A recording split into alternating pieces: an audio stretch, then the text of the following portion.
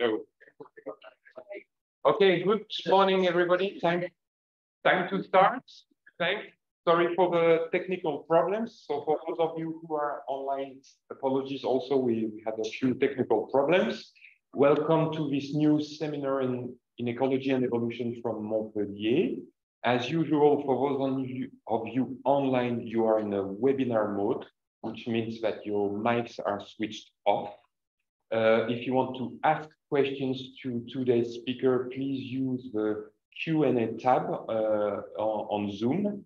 And then uh, when it's your turn to ask your question, we will switch on your mic so that you can uh, ask a question directly to a speaker. And if you if you have any technical issue, please report in the using the discussion tag. And so uh, I leave uh, Alexandra, I, I give the floor to Alexandra to introduce Thank you. I'll be quick. Uh, I'm delighted uh, today to introduce our speaker, Manvir Singh, who is a cognitive and evolutionary anthropologist, right? Um, Manvir did his PhD at Harvard, uh, finishing in 2020 in human evolutionary biology with uh, Joe Henrich, for those who know him. Uh, he's done a lot of fieldwork in Indonesia, uh, among the Mentawai, is it how pronounce it? And after that, did a postdoc in France, in Toulouse, at the Institute of Advanced Study. He's now just being offered a post uh, of um, assistant professor at UC Davis. Uh, briefly, his research focuses on cultural evolution, why it's culture the way it is, uh, why societies develop complex but recurrent uh, traditions. And it's got various topics of research, including um, related to law, religion, and art, and including shamanism, witchcraft, um, origin myth, music, uh, and, and, and more. And beyond research, you can check his website as well. He writes a number of pieces and essays for the um, lay audience in popular media, uh, including the New Yorker and the Guardian. Um, we're delighted to catch you before you, you go to the US. Um, and yeah, uh. Yeah, yeah, thank you. Thank you for that introduction, Alex, and thank you everyone for having me. I'm really delighted to talk to this group. Um, so like Alex mentioned, I study these recurrent complex traditions, and that's what I'm going to focus on today.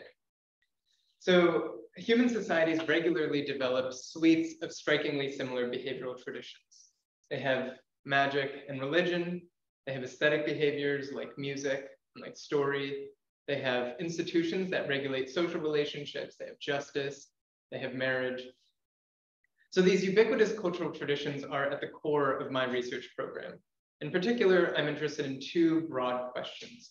First, um, what are the forms of these complex cultural universals? So what are the patterns of universality and diversity in these recurrent cultural behaviors? Oh, second, sorry. Um, and secondly, why do they appear everywhere and take particular forms? So these are not new questions. Um, in fact, they're some of the most foundational in my field of anthropology in 1896, the pioneer of American anthropology, this uh, German American scholar Franz Boas published a paper in Science that started like this. So he wrote, modern anthropology has discovered the fact that human society has grown and developed everywhere in such a manner that its forms, its opinions, and its actions have many fundamental traits in common. Later in that paper, he goes on, many attempts have been made to discover the causes that have led to these recurrent uh, ideas that develop with iron necessity wherever man lives. This is the most difficult problem of anthropology.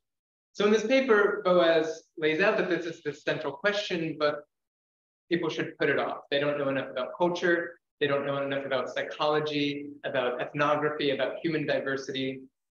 So now more than a century has passed, and we've learned an incredible amount about the mechanics and origins of the human mind, about cultural diversity, the histories of diverse peoples, about evolutionary theory, and its relevance to our biology and our culture. So my research is about leveraging this progress to return to this very difficult question that Boas had identified.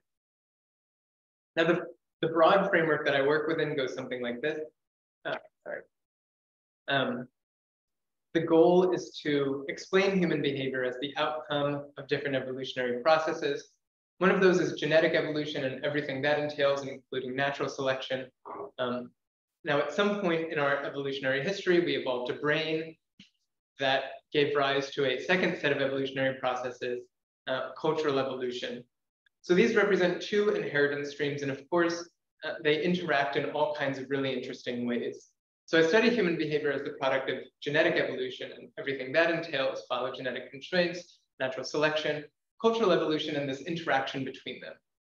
Another goal is that through studying these long-standing anthropological puzzles, we not only improve our understanding of human behaviors, of religion, of law, of art, but also we gain this better understanding of what's going on in these, in these red lines, how it is that our diverse evolutionary history, these diverse evolutionary processes interact to shape human behavior. So the, the approach that I take and the way that I'm going to structure this talk is in three pillars. So the first is explanatory. It's developing theoretical explanations, both for particular sociocultural domains and broader cultural evolutionary processes. These explanations are then informed and tested by two empirical pillars. One of these is comparative research, and the other is ethnographic fieldwork. Now, in the remainder of this talk, I'm going to go through these pillars. I'm going to provide an overview over, over many projects, but dig into a couple key examples. And I'm ultimately going to try to develop an understanding of the questions that drove this talk and, and of the research, how it is that evolutionary processes produce these ubiquitous complex behaviors. So let's start then with some theoretical explanation. Um, and you come to across. Oh.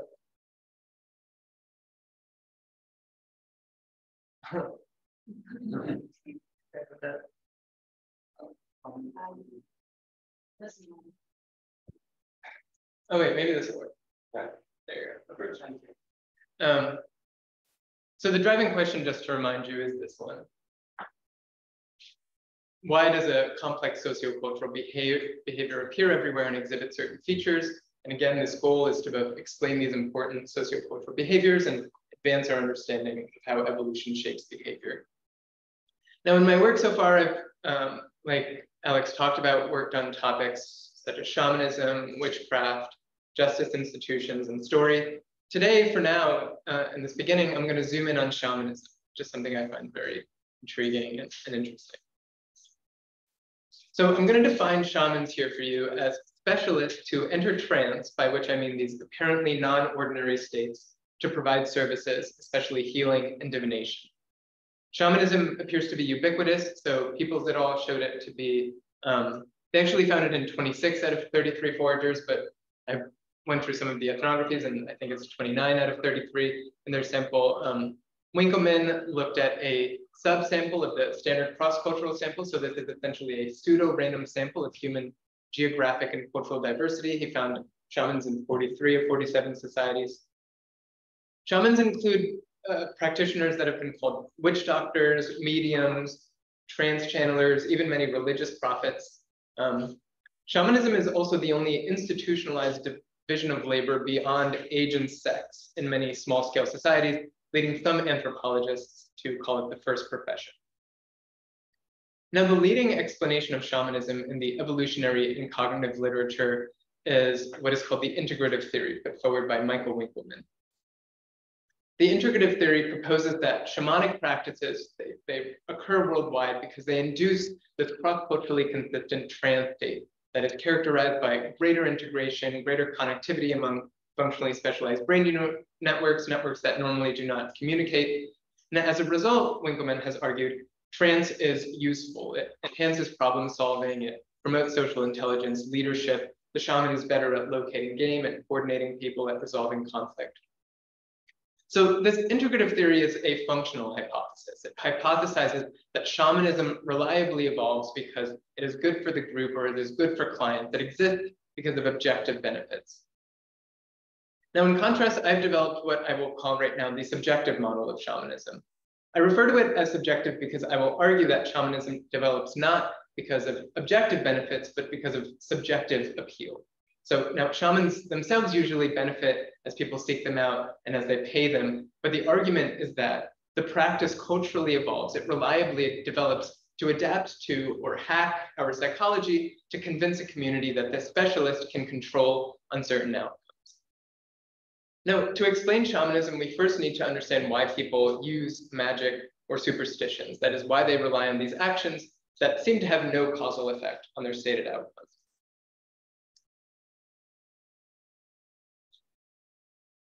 Ah, okay. Um, so I, am therefore grounding this model in an adaptationist theory or view of magic. So I'm building here on a lot of existing work, including some, some modeling that's cited here. But to get a sense of this idea, consider smoke alarms. And note that I did not make up this analogy. Many of you might be familiar with this. This is eh, used more generally quite often to think about and explain adaptive but error-prone cognitive systems. Randy Nesse, for example, used it in his book, Good Reasons for Bad Feelings. But the idea is that smoke alarms can have two kinds of errors. Uh, they can have false alarms, so they can report a fire when there is no fire, and they can have misses. They can fail to report fire when, when it's actually there. Now, both of these are costly, both of these are errors, but I think we'll agree that misses are much more costly than a false alarm. A miss can mean death, a false alarm just means being distracted for a little bit. To be optimally designed then, smoke alarms need to be calibrated to minimize costs of errors. We need to avoid these very costly misses, meaning that we make alarms very sensitive, uh, thus ending up with this fair share of false alarms. By analogy, then, we can think of magic, we can think of superstitions as the false alarms of evolved mechanisms that serve to detect useful causal relationships. So the cost on average of missing useful, useful causal relationships outweighs the cost of adopting some ineffective techniques maintaining superstitions. Now, this theory of magic is consistent with observations about the context in which humans use magic, in which they use superstitions, and they, in which they use rituals. Um, particularly, work has shown that we're most likely, we're more likely to use these when first uh, the cost of a behavior is low compared to the potential benefit of, of influencing some outcome, and the outcome occurs randomly after the intervention. So accordingly, people use magic, rituals, and superstitions to influence important uncertain outcomes, healing illness, influencing the weather, um, improving agricultural harvests, harvests, doing well in a, in a sports match, and so on. So we've established then that humans are a superstitious species, that there are adaptive reasons for, for concluding this. The argument is then that there is a cultural selection uh, for magic that is most psychologically compelling, most intuitive. Specifically, the idea is that as people speak out those magical methods that seem most effective, and as specialists compete to provide them, they jointly drive this cultural selection for intuitive magic. Magic that because of our psychological biases appears compelling and effective. So the outcome of this cultural evolutionary process then is shamanism. That is the argument here. Now, what is it about shamanism that makes it so cognitively appealing? Uh, what I have proposed is that core features of shamanism, trance, dramatic initiations, uh, these convince the community that the practitioner is different from normal humans, making their claims of special abilities more tenable. Now, the subjective model uh, makes predictions about features of shamanism. Uh, one of those is shaman jurisdiction, like what they should do, what kinds of services they should provide. Oh, oops. Uh, the subjective model predicts that shamans should overwhelmingly deal with important uncertain outcomes. This contrasts with the integrative theory that we saw earlier, which Winkelman has said predicts that shamans should act as leaders. Uh, it also contrasts with placebo theories of shamanism, which are also relatively common. These are theories that hypothesize that shamanism develops as a technology for inducing the placebo effect. And these quite straightforwardly predict that shamans should treat illness so I tested among these hypotheses using Winkelman and White's 1987 uh, database. They coded trans practitioners in 43 societies. Again, remember this subsample of the standard cross-cultural sample. Oops. Um, here's what I found. So black bars are domains of uncertainty. White bars are leadership roles. Striped bars are life cycle transitions. And what we see is that as predicted by the subjective model, shamans overwhelmingly deal with uh, domains of uncertainty healing, divination, ensuring good harvests. They do take on healing roles consistent with the placebo uh, theory, and they do actually take on leadership and consistent with the integrative theory, although leadership is, is uh, much less frequent, uh, while healing is not expensive, or, or is it's just one of, of several domains here.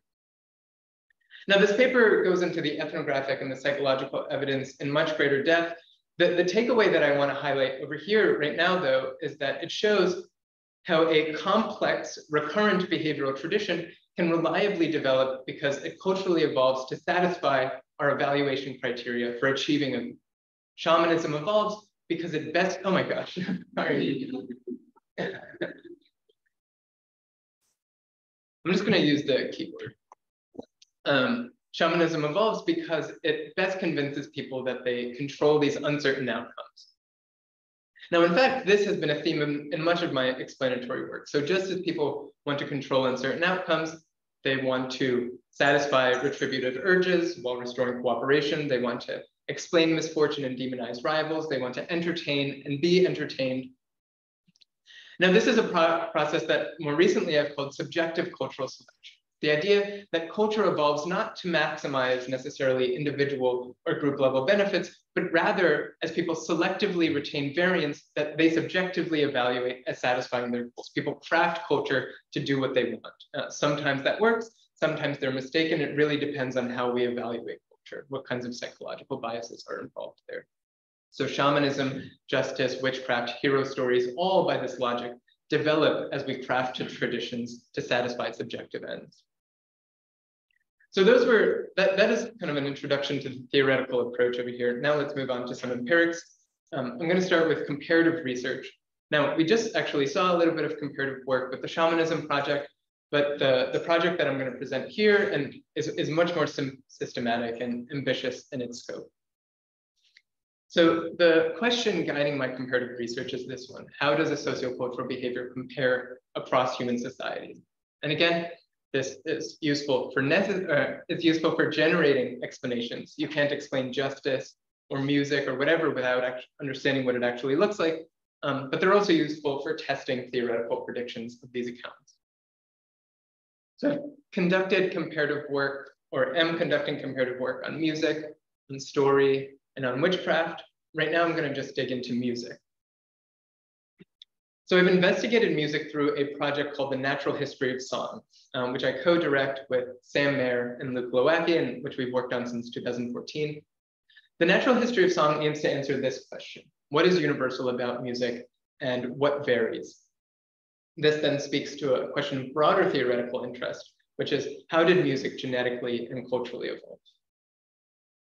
The natural history of song is composed of two parts. Um, the first is what we call NHS ethnography. This consists of some 5,000 descriptions of song from 60 diverse societies.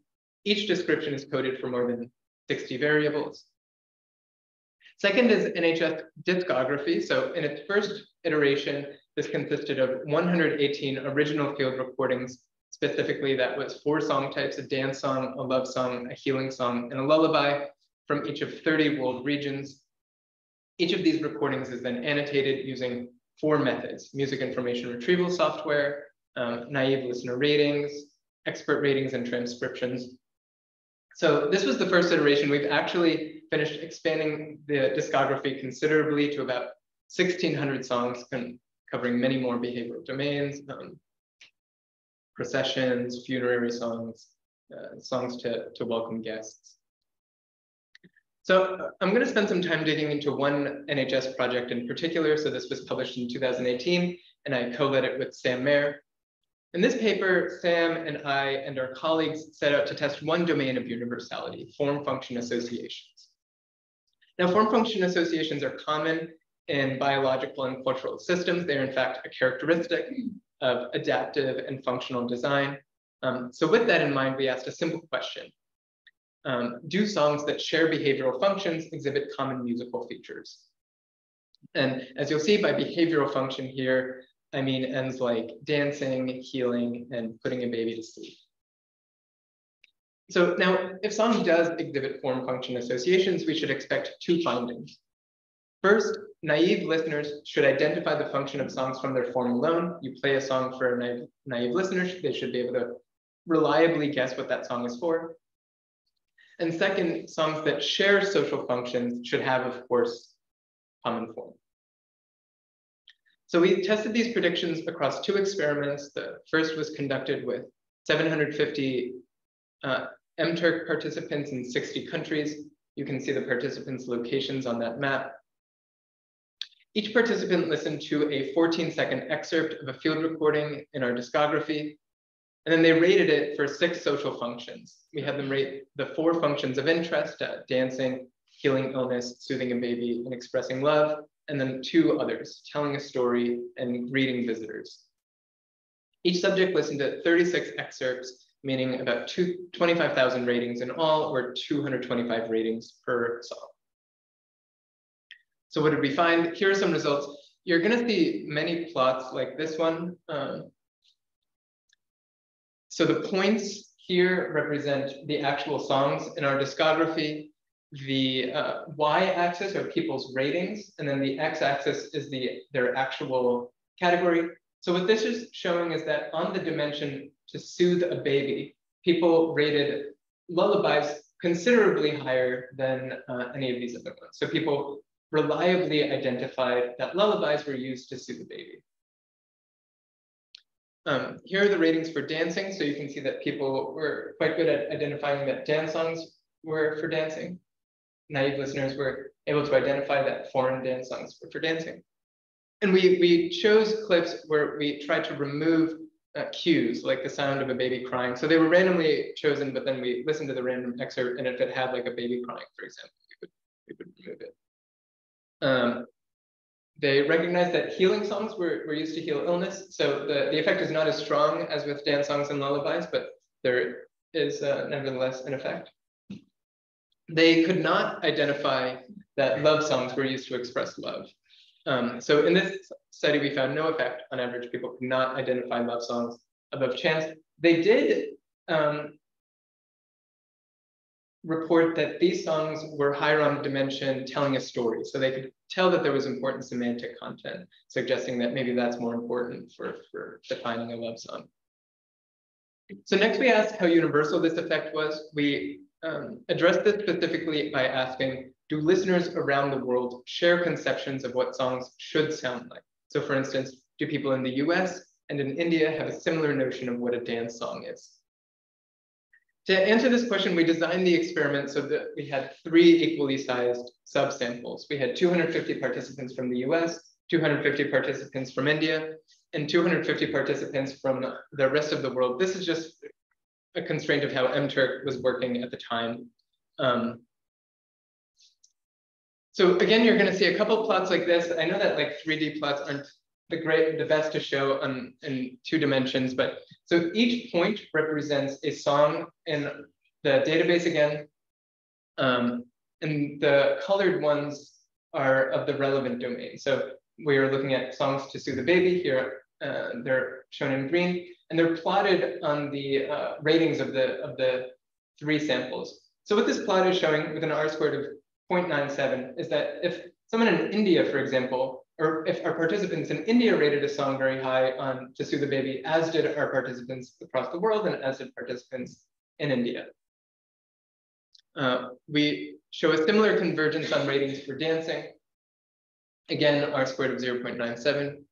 Um, and it admittedly, or, or, again, convergence on to heal illness. So there's admittedly more variation here. Um, I mean, it's still quite a high R squared, but given that healing songs were perhaps the most foreign to our listeners, it's striking to see that they nevertheless shared these mental models of what these sound like. So returning then to our predictions, we find evidence that naive listeners could identify the social functions of songs from their form alone. What about the second prediction though? Do songs that share social functions have similar forms? Um, to address this second prediction, we ran a second experiment, this time 1,000 listeners, uh, only in the US and India this time. We used the same excerpts Rather than rating function, however, they rated form. So this included musical features like melodic complexity, rhythmic complexity, tempo, etc., and contextual features. So the number of singers, the gender of singers, and the number of instruments. So I'm not going to go through all of the results, but here are just some of the findings for, for musical features. And what you can see is that on all four of these dimensions, on melodic complexity, rhythmic complexity, tempo, and arousal, um, we find that dance songs are consistently rated the highest and lullabies are consistently rated the lowest. And in fact, when we ran a PCA of the musical features, we found uh, that dance songs here in blue separated from lullabies here in green. So dance songs were arousing, they're fast, they're melodically complex, they're rhythmically dominated. Lullabies were in contrast slower, less arousing, less rhythmically dominated. So we, at least comparing dance songs and lullabies, find uh, indications that, that songs that have distinct functions tend to have these convergent forms. So we find evidence for, for the second prediction. So a limitation, of course, over here, which you might be thinking, is that we conducted this experiment only with internet users who are competent in English. Um, so the generalizability of our findings are therefore quite, quite limited. For that reason, we've also run versions of this experiment now with speakers of 28 languages across 49 countries. This includes speakers of Amharic, Korean, uh, Urdu, and we've, oh, sorry, and we've also run this study, versions of this study in three smaller scale societies. So with the Mentawai of Indonesia, the, the Nyangatom of Ethiopia, and the people of Tanna in Vanuatu. So notably, our findings replicate in these other populations. So here, for example, are inferences about dance songs. And you can see that both in the um, uh, 49 countries and in the smaller scale society, we find um, that listeners can accurately uh, identify dance songs on this dimension for dancing. We found the same effects for healing songs and for lullabies, although not again for, for love songs. So since this 2018 paper, we've had many more findings with NHS. Here are some major ones. So in our analyses of the ethnography, we find that musical behavior varies along three dimensions, um, formality, arousal, and religiosity. We find that within society variation on those dimensions exceeds between society variation by about six times. We find that across societies, song tends to be consistently used in at least 20 behavioral contexts like dance, uh, love, processions, play, warfare. And finally, we found further evidence of these form function associations we later computationally identified the features that distinguish not just dance songs from lullabies, but each of the four domains from each other. So in a new review paper, Sam and I draw on our findings with the natural history of song, as well as some other recent experimental work to address this question. Have humans biologically evolved specialized cognitive adaptations to respond to music? For example, have we evolved to dance? Have we evolved to respond to lullabies? Um, so we, we look at three signatures of adaptation, or, or at least three features of musical responses that can help us make inferences about adaptation. Universality, ontogeny, and domain specificity of these responses. And what we conclude is that as of now, both from our research and from the literature more generally, there is evidence of, of universality, uh, the kind of evidence that we've shown people tend to respond to uh, musical stimuli similarly, although there is interesting variation that we can talk about. And there is reliably development, reliable development, but we find no strong indications of domain specificity. Um, rather, it seems from the existing research that emotional and behavioral responses to music, including to dancing, there's like a really interesting literature on how dancing might be a byproduct of other systems that we can talk about later, um, suggest that these are byproducts of other cognitive adaptations. Um, so ultimately, our work with the natural history of song, combined with other recent literature, indicates that shared features of human psychology predispose people everywhere to find certain songs appropriate for certain emotional or behavioral contexts. We thus conclude in the paper that these musical universals emerge, or, or at least they are shaped, um, as people selectively produce and retain songs that appear to best satisfy their behavioral goals. So people craft, they evaluate, they retain music that, that achieves ends like soothing babies, promoting dance, communicating happiness, etc. Thus driving these, these cross-cultural patterns. Okay, so that was the um, comparative research. Now let's move on to the, some field work. So like Alex mentioned, since 2014, I've been conducting fieldwork with Mentawai people on Siberut Island here in Indonesia. Uh, most of the fieldwork I've done has been um, in this yellow region and on this river of Rereket, the Sarireket region. Um, although I've also worked a bit in these other regions as well.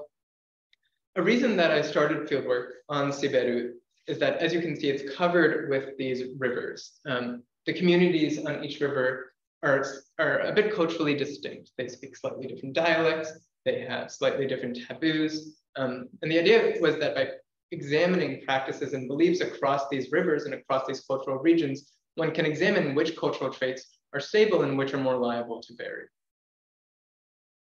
Okay, so some background about the Mentawai. Uh, the Mentawai people are Austronesian. They are um, traditionally rainforest horticulturalists. So the staple of the diet is sago. They also, um, or it's a sago palm, you process the starchy pith. Um, they grow tubers and many fruits. Um, they also forage. Um, they raise pigs and chickens. They're increasingly quite integrated into the market. They um, are organized into patrilineal clans known as Uma. Um, they traditionally lived in long houses, also known as Uma, as well as small houses surrounding them. Today they have a mixed residence. So most people will live in settlement villages, like what's pictured here. Uh, these are known as Varasi, although many families also maintain houses in the forest where they tend to pigs and they hold ceremonies.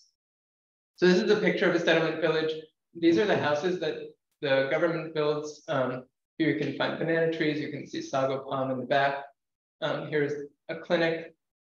And all of these people are actually watching as a, um, like a bulldozer comes in to, to create a road.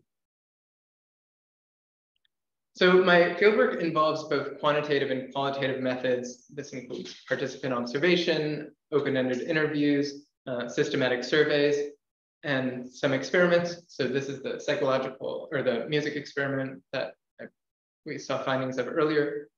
As you'll see, a major focus of the fieldwork is to collect primary rich behavioral data. Um, also for anyone who is wondering, these men who are tattooed and who are wearing loincloths are sikerei, shamans. Okay, so similar to the comparative work, the fieldwork has two major goals. These are first, uh, characterizing social and cultural behavior, usually with the aim of further building theory, and then testing theoretical predictions.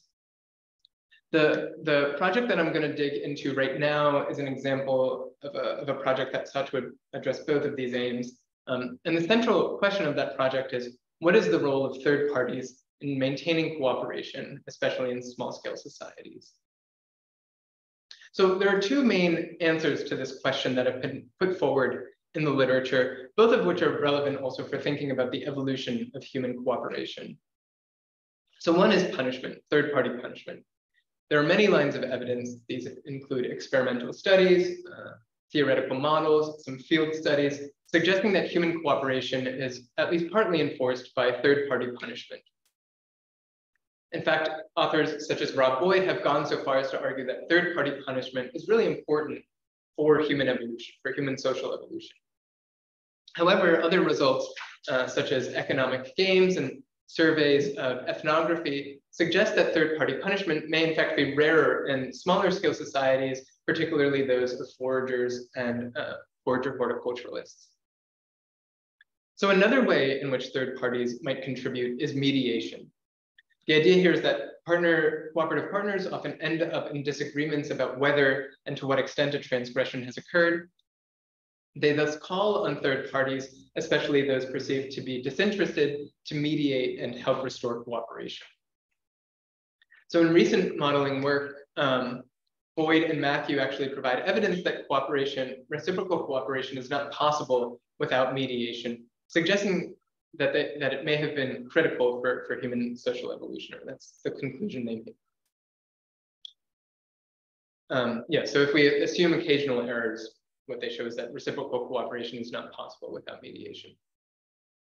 So this project thus sought to test the extent to which third parties engage in punishment versus mediation in the Mentawai context. Now to test the relative importance of punish and mediation, I drew on a long-term data set that I've been compiling on transgression and justice in Mentawai. So a bit about the data set, it comes from 199 interviews conducted with 95 individuals including at least one member of every household in the primary study community. Uh, it currently comprises 444 cases of transgression, but because most of these are retrospective, uh, we use a set of stringent exclusion criteria to, to ensure the most reliable cases. And, and so 302 pass the, the exclusion criteria. A really important point is that in Mentawai, punishment and mediation are ensconced in an indigenous institution of justice. So 80% of the cases collected involve the payment of a fine, of what is called tulo. Um, and tulo payment has a particular protocol, and it's uh, these payments are typically paid in resources like pigs, chickens, cooking pots, durian trees, and so on. Just to get a sense of, of the kinds of conflicts that are occurring here, um, here's just a sample of these, of, of, some of the major ones in the data set, threatening someone, harassing or fondling a woman using harmful magic, adultery, impregnating an unmarried woman, inducing bad luck by breaking taboos, saying the name of a dead person, spreading malicious rumors, um, and then destroying and damaging property. Stealing property is the, the biggest one. We'll see in a couple slides, you'll see how big uh, theft is, particularly of pigs and, and killing pigs. So for every case, I collected a, a, number of variables, including the composition of the fine, the details of mediation, what happened if it went unpaid, and the identities of the parties involved. Um, some background about the institution. So the Mentawai uses this phrase, tabbe tilinia, tabbe tulonia, to describe the magnitude of fines. This means one, one replacement, one tulo, where tulo essentially here means penalty. And so the idea is that a fine should be equivalent to twice the value of a lost or damaged resource. You killed my pig, you owe me two pigs, for instance. Fines typically go from a transgressor and their relatives to the victim and their relatives. Um, in fact, it's often said that a clan will fine a clan. Nevertheless, the parties involved can be quite fluid and variable. So I have a case in which a son and his wife find uh, the, the son's father, uh, another in which several lineages and a flying and a clan got together to find an errant member. So before I move on to the results, I just want to clarify some of the terminology I'm going to use. Um, second parties are those directly harmed by a transgression.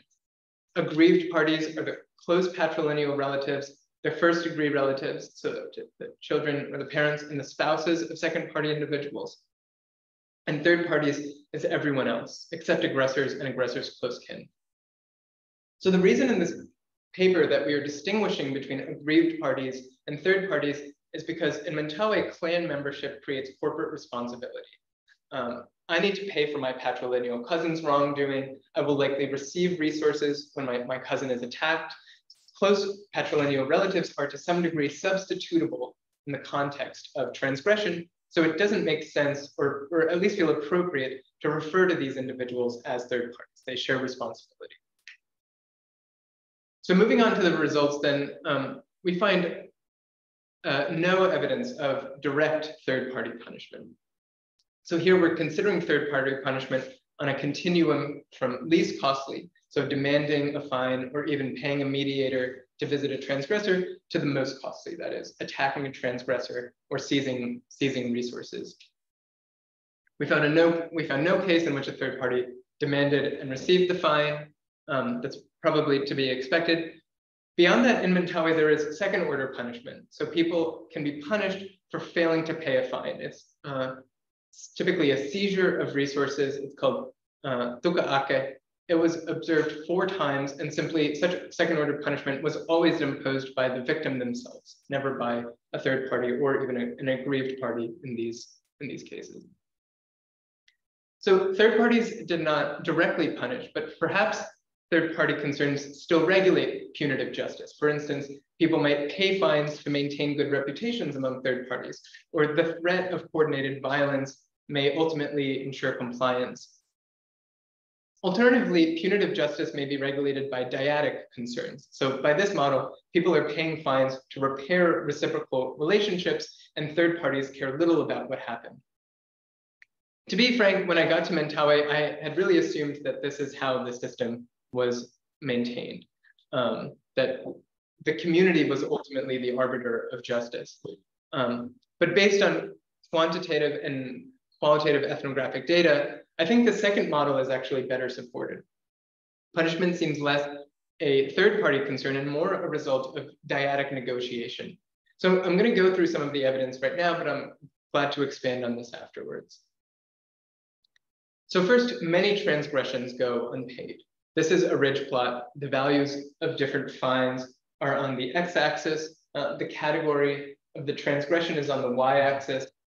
Um, you'll see that really severe infractions appear on the top. So impregnating, sorcery, sex, molestation. You can see like PEG, 41 cases of PEG. That's the next most common one is stealing or, or killing a chicken. These are the, the really like common infractions among the Mentawai in the community, among Mentawai people in this community. Um, really trivial infractions are here on the bottom, stealing a banana or taking some taro, taking sago grubs. Um, what's key is that the distributions are bimodal. So many transgressions are not followed by, by punishment.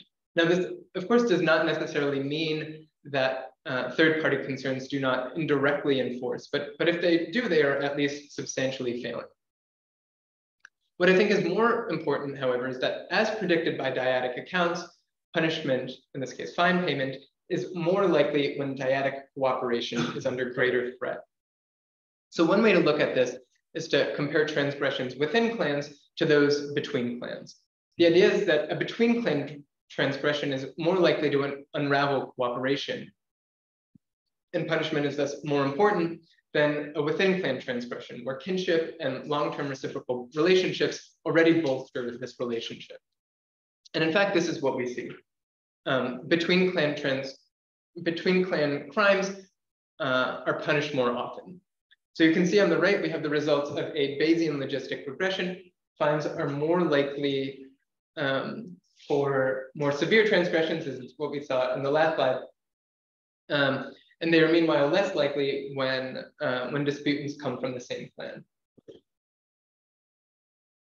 Now moving on to mediation, I'll just start with some background. Um, so in the part of Siberu where I work, disputants can either call a mediator or they can resolve a conflict face-to-face, -face, what is called pamata-mata. Um, traditionally, the mediator would be a go-between uh, today, there's still some go-between mediation, but there's also in-person mediation and government mediation, although governmental mediation is done by individuals drawn from the local community and is structured near identically to in-person mediation. We have some interesting results. I'm not going to go through them here, but about how governmental mediation might be taking the jurisdiction of local leadership. Um, so that's also something I'm glad to talk about afterwards. So of the 217 cases for which we have relevant data, roughly half of them involved some kind of mediation. Um, we examined some of the predictors of being called as a mediator, which I'm showing here. Uh, note that only adult men are called as mediators in this community. Uh, so we're examining the demographic predictors of being a mediator restricted to, to an adult man. So the reference level here is a non-elder, non-shaman. And so what we are seeing is that elders, both senior elders and junior elders are more likely to be called as mediators, and sikerei, these shamans are more likely to be to be called as, as mediators. Um, we find that third parties are overwhelmingly called to mediate. More than three quarters of non-governmental mediators do not share clan membership with either disputant. However, it's hard to know how to interpret this. Um, so to determine whether people are actively seeking out third parties, what we did is we simulated the estimated frequency of third-party mediation under a scenario where people are randomly calling upon shamans, elders, and household heads to mediate. For the sake of time, I'm not going to go through these results in too much depth. depth. Um, I'm glad to return them, return to them. But in short, what they suggest is that people do not actually, in this context, seem to seek out third parties to mediate. Instead, they seem to seek out shamans and elders, sikerei and elders, many of whom are incidentally third parties. Stepping back then, what we find, we find no evidence of third-party punishment and little indication of indirect enforcement otherwise. Um, we find that third parties are often called to mediate, so remember some three quarters of the time, although it's unclear whether they're actively sought out as opposed to people simply calling sikerei and elders. Our results also speak to the evolution of justice institutions in human societies. So in Mentawai, we saw that punishment and mediation are, are coordinated by this indigenous institution of justice, this Tulo system. Um, various lines of evidence suggest that for the Mentawai, this justice institution serves foremost to restore dyadic cooperation after a transgression. With my colleague Leo Fitouchi, we've built on this finding in a recent paper to argue that punitive justice often culturally evolves in smaller scale societies um, as people design practices that both restore dyadic cooperation and satisfy victims' evolved retributive urges. And in fact, in this publication, we tested this hypothesis but also with data from two other societies, the, the Kiowa of the American Great Plains and the Nuer, and we, we mostly found. Okay, so uh, to conclude then, I want to return to Boas's most difficult problem of anthropology. So in line with his comment, we found evidence that human societies indeed develop complex sociocultural traditions, sociocultural traditions with striking cross-cultural similarities. Although, and, and I didn't focus on this so much during this talk, but all of our cross-cultural work also shows that these universal patterns coexist with interesting patterns of diversity. Um, we found evidence that different traditions seem to culturally evolve through different cultural evolutionary processes. So lullabies seem to develop uh, as people selectively retain music that suits infants, shamanism as they selectively develop practices that apparently best control certain outcomes, punitive justice as people selectively craft and retain institutions that restore cooperation and satisfy revenge. But I've also argued that we can step back and find some unity in these diverse processes. So on the one hand, all of them are grounded in uh, genetically evolved regularities of human psychology. And particularly, I focus on two, the fact that people pursue fitness relevant goals um, and that they share this, this cognitive architecture of evaluation. We saw this, for instance, in the predisposition to evaluate magic as effective. And I've argued that these two facets give rise to this pro process called subjective cultural selection, which occurs as people craft, adopt, and selectively retain practices that they evaluate as satisfying, satisfying their goals. Now, this process seems to underlie the development potentially of material technology. So spheres, for example, for example, are plausibly evolving as people are selectively retaining technology that they evaluate as, as killing prey. But the same process also seems to explain the, the sociocultural puzzles that we, that we have considered. That is, these sociocultural universals appear to develop everywhere as people craft compelling solutions to satisfy their evolved motivations. Okay, so yeah, to, to close out then, there are many people involved in this research. I want to start by acknowledging my two Mentawai research assistants, Aman Boriogo or Rustam and Aman Jamanu. There are many collaborators, but the, the mentors who helped develop the research um, and supervise and, and organize it are all over here, Richard Wrangham, Graham Jones, Joe Henrich, Luke Glowacki, Mascota Delphi. Um, here are the institutions and funding bodies that have supported my work. Here's how to find me online. The code and data for all of my published empirical papers are also available on the Open Science Framework, um, and I will gladly take any questions if there are any.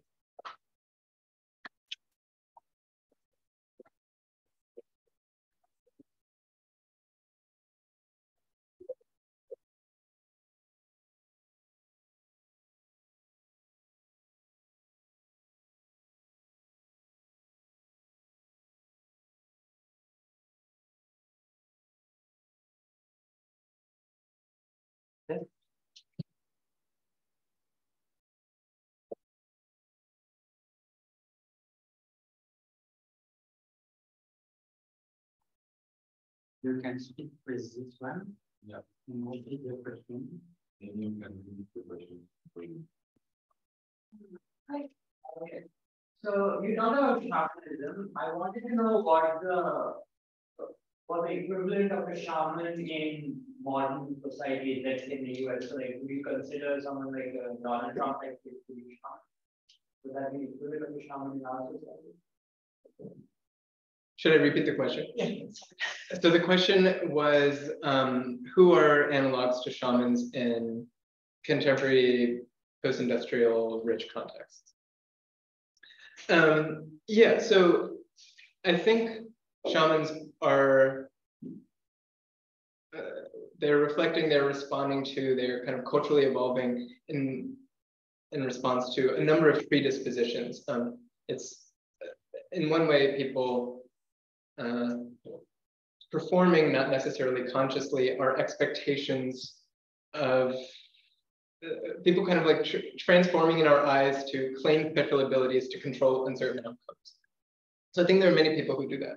Um, one example that other people have actually talked a lot about are money managers, where um, arguably the market is an, an unpredictable, uncontrollable system. Um, there are arguments that money managers behave at chance, that like throwing darts can, can perform similarly.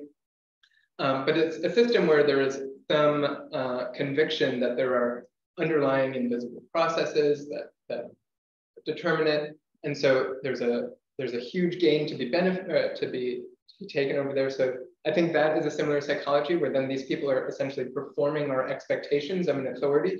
They um, you know use complicated models. They uh, might seem super charismatic. Um, yeah, uh, I think then a lot of people are also another thing shamans are doing is that they're kind of responding to a predisposition to um, draw simplistic causal models about misfortune, and I think a lot of people exploit that. You know, you want you want your economic situation to get better. I blame that on an agent, and then I present myself as special in precisely the way necessary to engage with that that agent. So I think like, yeah, you are kind of economically suffering.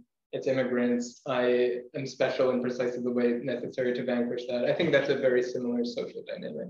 Um, but also like a lot of people very explicitly visit shamans. Um, like a couple weeks ago, I went to a shaman festival outside of Paris. Um, when I was doing my PhD, I was going to the Cambridge Shamanic Circle in in in um, right up like a couple blocks from Harvard. There was a news a couple months ago that was like in England right now the religious affiliation that is growing the most rapidly is shamanism. That's what people are writing. Um, but yeah, so I think in, in different ways. Uh, how Sorry. How unstable people So, for example, I would say that um, if you talk about which is your own society, so which is as far as I used to be an advice, they that is different medicine without medicine. So they were giving healing because they were they could be let's say working not as shaman as they did, maybe they didn't have a but they were providing services to But suddenly there is a societal pressure I was there could be a power politics and influence that led people to change as many different find and so how unstable is the people judgment or evolution? Yeah, yeah. That's how do they how do they judge? And can you repeat the question? But yeah, yeah. So it's it seems like how robust are people's beliefs? Yeah,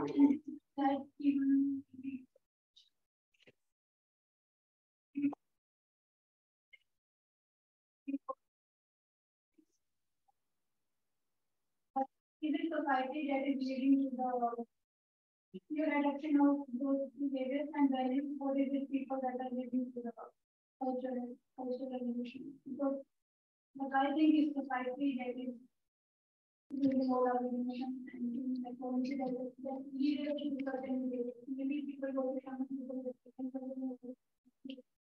and uh, what do you say? Okay, so you're saying there is social reinforcement for these behaviors. What happens in the absence of that social reinforcement? Yeah. well, okay, so towards for the first question, um, I, think some kinds of beliefs are, are, are quite robust. So something that I find intriguing about shamans, other religious, magical religious practitioners is, like you mentioned, there are often campaigns to, to eradicate them, to eliminate them. Um, that might be because authorities see them as potentially competitive with their jurisdiction. They have some kind of end. Um, but these are often devilishly sticky and show an incredible capacity to reemerge. And there is a lot of interesting research um, on how people will maintain simultaneously different causal frameworks for, for example, illness. So, you know, people might think that illness is caused by witches or some kind of visible agent, et cetera. They might be then given biomedical explanations and really, those might be really reinforced, but they will often still maintain these. And I see this in Mentawai, where biomedicine is believed to be useful for something like malaria, but then people will say, but the sikerei are still very useful for other explanations like sikamainen, like a water spirit that, that attacks you. Um, I definitely think like social reinforcement, I, I hope I didn't misunderstand your question, but I think what you were saying, social reinforcement is important. Um, there's really interesting work. Some of the work that I think is the coolest right now is by um, Tanya Luhrmann at Stanford, where she talks about how um, we really need to think about like people people are essentially given beliefs and then they interpret their experiences in the framework of those beliefs. And um, it's it's the really important thing is actually people's experiences that are reinforcing their beliefs very often but they're kind of given different frames to to interpret them. So um, what she shows is that like and what she reviews is that children for example are often the most skeptical in a way. They often have the most naturalistic explanations. Um, but then through kind of being given certain frameworks and then through their own experiences uh, they that those start to get reinforced. If, if that didn't satisfyingly answer your question i'm glad to also talk afterwards. We have a question online, but uh, Julien don't have any microphone. I will say the question for him. Uh, Julien is asking, do you encounter any resistance to your research in the current ideological and social climate? Uh, how do you deal with it? In the current climate? Climate, social and political climate.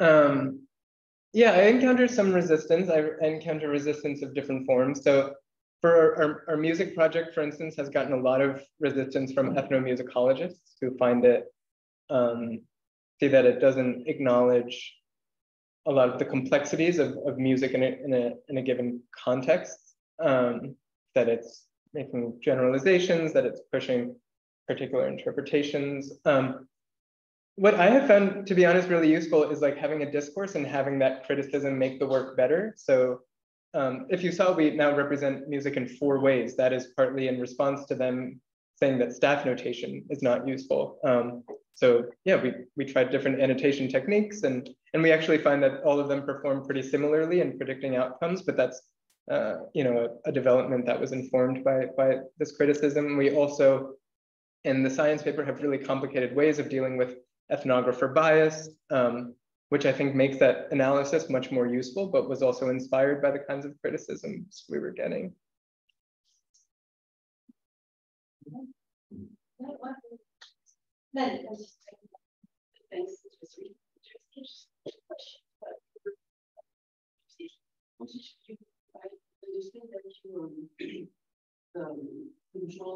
The, the, the results of the perceptual analysis by taking into consideration the semantic level.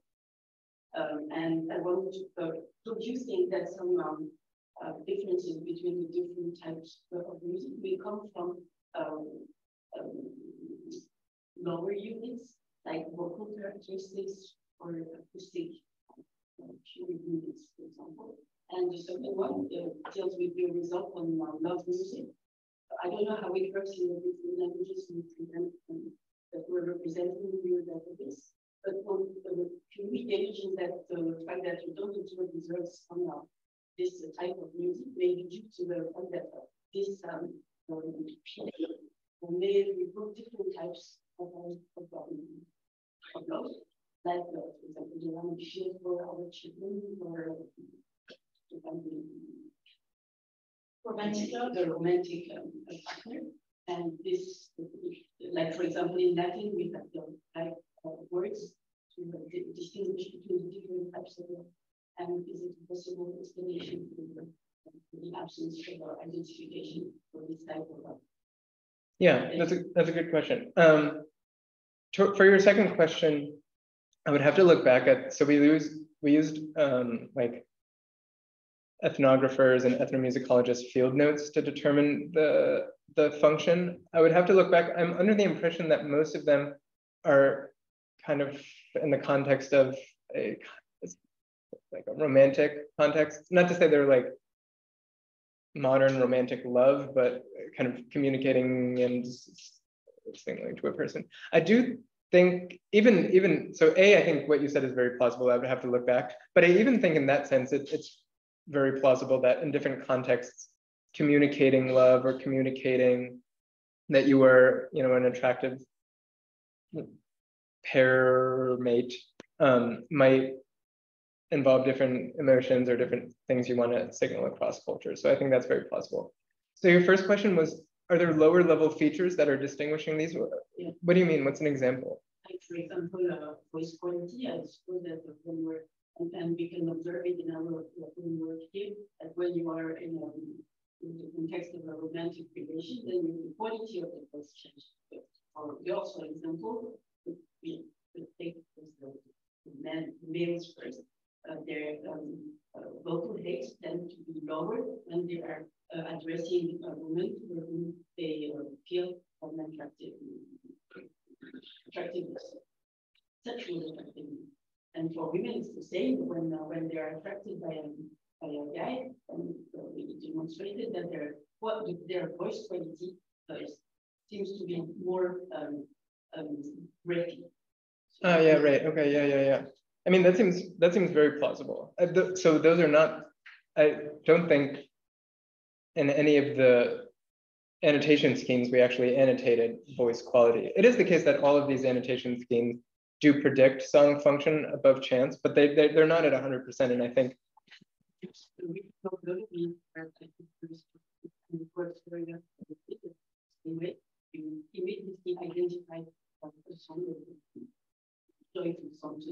Yes, yes.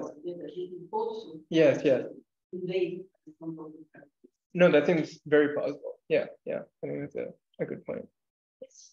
Uh, I have a question. So the shaman are very important for the social cohesion of the group.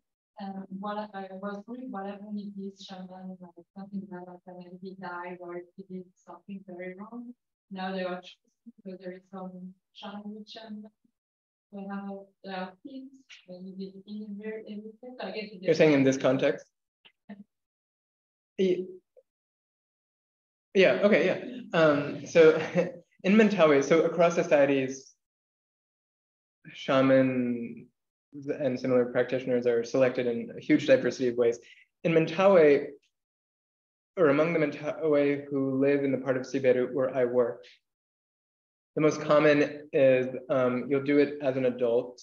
Uh, you might do it after you fall very, very sick. Um, and then it's perceived that you know many things will will will be attempted, and then it's thought that okay, that the spirits are are essentially labeling you as as an initiate, and so they have to start initiating you. And some people can also just by themselves opt to. I want to become a sikerei, and then they'll find a teacher. Um, and I mean, in, in all of these conditions, you have to find a teacher, and you also have to do, you have to learn the songs, you have to learn the dances, you have to learn the herbal remedies. Then you also have to fast, you have to live in the forest. Um, and the ethnography historically, and this you find in other societies, but I've never heard of a case contemporarily where I work, but there are also cases where people suddenly become crazed and they like run into the forest and, or, or you know, they'll say spirits grabbed them and something happened. Um, that, that, I haven't seen that. Yeah, and then the question, what would happen if they disappear? Um, yeah, I mean, I think in Mentawai, or where I work in Siberut, there the Sikerei are a lot. They are, um, you know, they're religious practitioners. They are um, intermediaries with, with spirits, but they're also like master entertainers. So um, a, a, shamanic ceremony is very often also just like a really good time. You sacrifice animals, you share them, and then they dance and then everyone's amped up and then everyone else dances and that goes on all night. Um, they're considered repositories of knowledge. Um, they're of course they're much more than than uh, you know just people who help you deal with spirits for illness. Um, as we saw, they're mediators. What would happen if they were to disappear? I mean, in parts of Siberut, there are Sikerei who are disappearing. Like the work where I work is the highest density, but farther down the river there there are none. Um, I mean, people sometimes call upon others, but I think like I think society just reconfigures potentially. You know, you listen to different maybe that kind of music and performance goes down, or or the way music works goes down. Other kinds of mediators emerge. I don't think it's like I think yeah, people adapt. They they engineer. They yeah.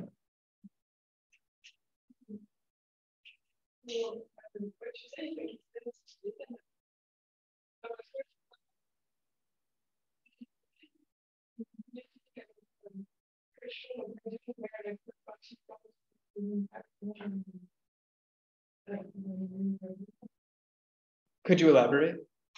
So you're saying density dependence for?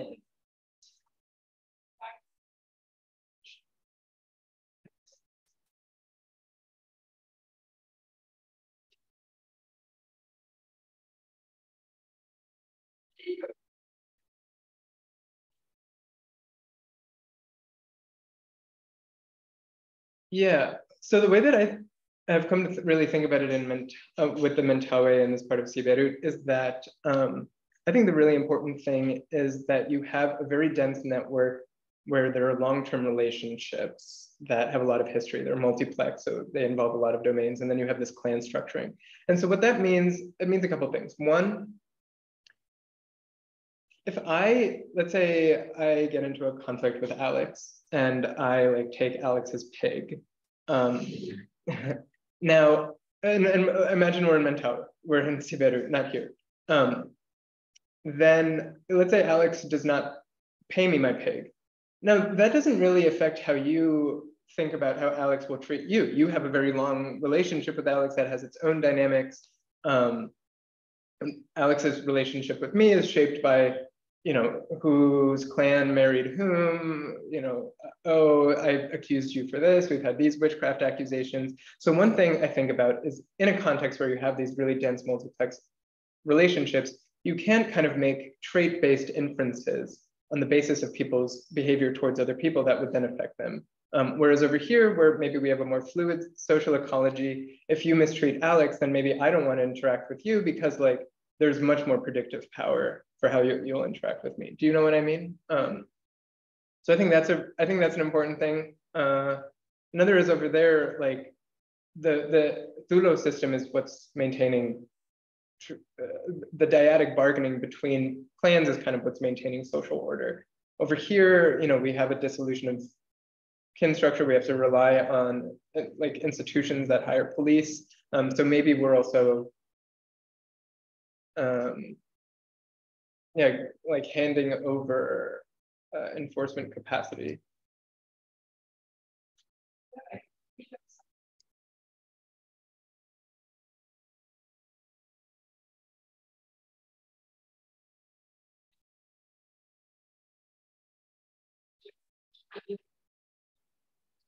Yeah, yeah. I don't know. I mean, you have you can have very large communities that are still corporate, still based on corporate kin groups where corporate kin groups essentially bargain and third parties are somewhat indifferent. Like the Somali, there are ethnographies of Somali justice where you have these huge, what are called dia paying groups that can have hundreds of members. Um, and I'm not, I maybe this is wrong, but I'm not sure whether third party clans or dia paying groups in those contexts would care. I mean, maybe there is, but yeah, I mean, it's an interesting question. Yeah. I think if there's no more question, I think the lunch thank you very much.